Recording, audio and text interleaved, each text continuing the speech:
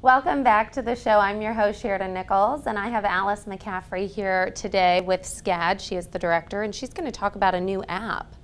Well, first of all, tell us a little bit about SCAD for those who are just tuning in and, and aren't familiar. So the Sullivan County Anti-Drug Coalition is a five-year effort now. We're actually in our sixth, beginning our sixth year, and we're trying to prevent substance abuse in Sullivan County, particularly among our young people. So we do everything that we can to look at what the environment looks like. How do we make our community a healthier place to decide to do the right thing and a place where we have some more barriers to make it harder to do the wrong thing. We want to protect our brains. We want to protect everyone's brains. It's our country's greatest resource. So, how's it going? You've sort of seen this evolve now. What are you it's, seeing? It's, it's, it's actually getting exciting now. Um, about, uh, about a year and a half ago, we ended up getting another grant, um, which gave us another staff person.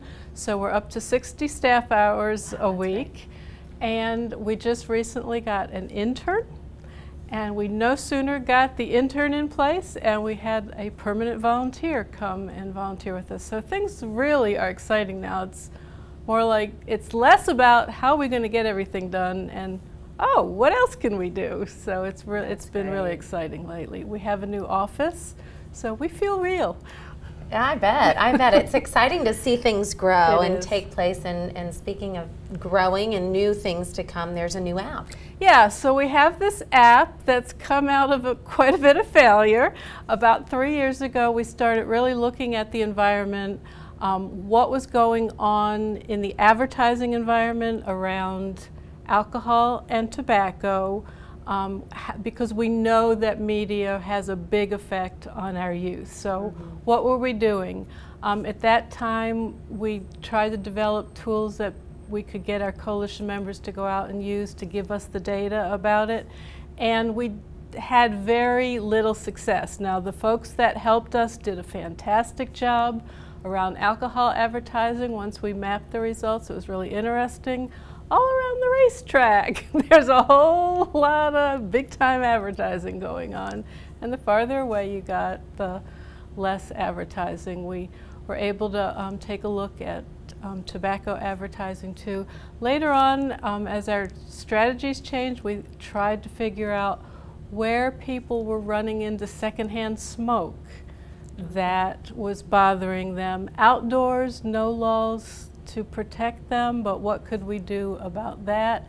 And we kept trying to add things, but trying to figure out how to get people to use our tools was really hard. We tried a mobile website, but we couldn't really get very much traction, really. We just, people would not download it, use it. So we tried to get people to just send us a picture. You know, a picture mm -hmm. tells a thousand words. Send us a picture of what was going on but it's it's just really hard, you know, and in the two hours just a that trial and error to yeah, see what works. Yeah. So so we had a lot of failures, and then we finally figured out that everybody has a smartphone.